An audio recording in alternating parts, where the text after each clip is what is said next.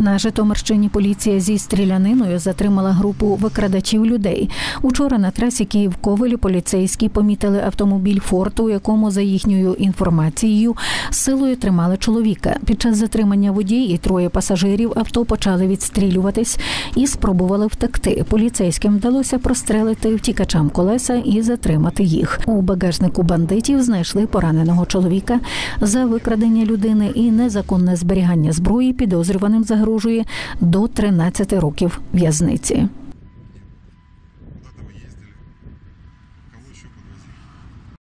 Після зупинки транспортного засобу е, і його огляду в багажнику автомобіля був знайдений е, чоловік е, віком 22 роки. Це місцевий житель Олевського району Житомирської області. Встановлено, що останній має поранення, вогнепальне поранення сідниці, вже перебував в найкращому стані.